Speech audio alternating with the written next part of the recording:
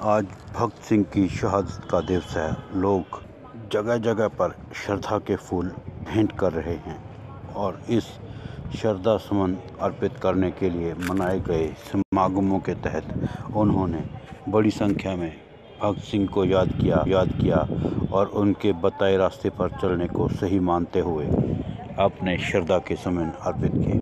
उनका जन्म श्रीमती विद्या देवी माता विद्या देवी की कुर्सी से हुआ। उनके पिता का नाम सरदार किशन सिंह संधू था, जिन्होंने बहुत ही कठ, कठिनाइयाँ झेली।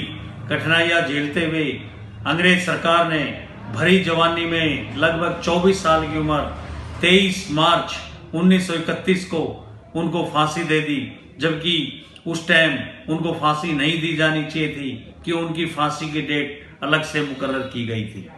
इस मौके पर मैं अपनी ओर से, अपने परिवार की ओर से, पूरी राजापुरी कॉलोनी की ओर से आर डब्ल्यू के पदाधिकारियों की ओर से, सभी की ओर से शहीद भगत सिंह जी को नमन करता हूँ और श्रद्धांजलि अर्पित करता हूँ। शहीदी दिवस पर राजगुरु भगत सिंह जी और सुखदेव जी को मेरी भावभीनी श्रद्धांजलि है।